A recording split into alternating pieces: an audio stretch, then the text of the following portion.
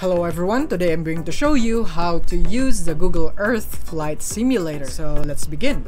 So here we are in our browser because I want to show you first quickly how you can download the Google Earth app for your desktop. And it's right here you just have to search here in Google Google Earth Pro download and you want to click on the first result which is provided by google.com so you want to click on this and you will be provided or you will be redirected to this website. So depending on the device you are using you wanna uh, click on each one. So if you're on web, you want to click this one, but since we are using desktop, then you we want to click on this right here, this icon, so that we will be redirected right here and we can download the Earth Pro on desktop by clicking there and you want to accept and download click on it. And after that you will be able to download it here.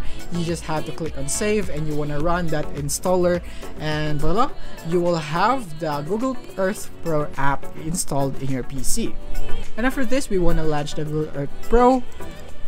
And as you can see it's now launching and here we are and this would be the startup tips. So you can disable this if you want. You just have to untick this and click on close. And from here what we're gonna do to do the flight simulator is go into tools right here.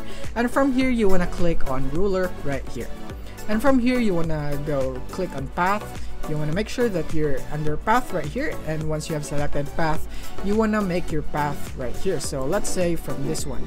I want to make the path from this point and to this point. So as you can see there is a line that I created right here that is my path.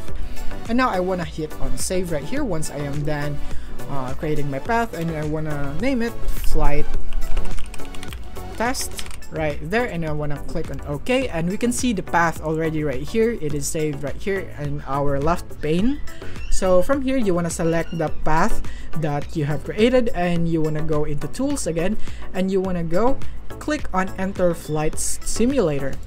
And after that you would have these options right here depending on what you want to uh, use uh, you want to use an F16 or SR22 but in my case I'll just use F16 and in your uh, position you want to make sure that you select the current view control plus A because we have a custom path right here so that we can use it. You can, or you can also use this if you don't want to use a custom path. And after that you can now click on start flight right here and after which as you can see we are now using it and you can now control it right here and you can control it with your mouse or something like that or you can also use this to control uh, via your joystick or whatsoever that you want to use and that's basically it on how you can use the Google Earth Flight Simulator.